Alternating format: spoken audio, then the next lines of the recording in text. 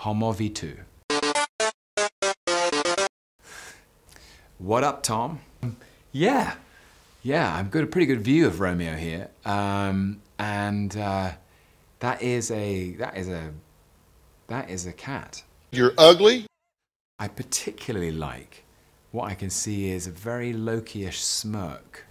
He's got a very mischievous glint in the eye, and he seems to be smiling at me because he knows he is superior. Uh, Homovittu, what up, and what a great cat.